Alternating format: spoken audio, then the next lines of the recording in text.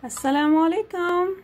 Today I would like to share something really hearty and that is barley soup.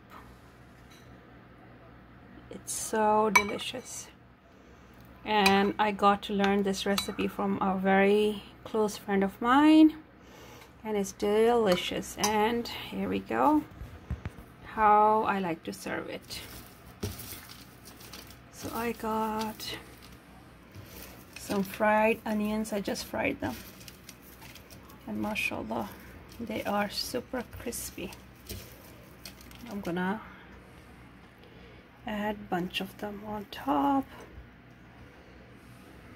Now doesn't that look yummy? And squeeze some lemon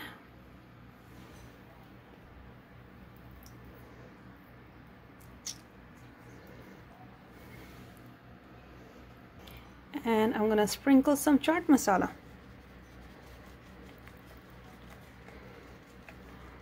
So good. So delicious.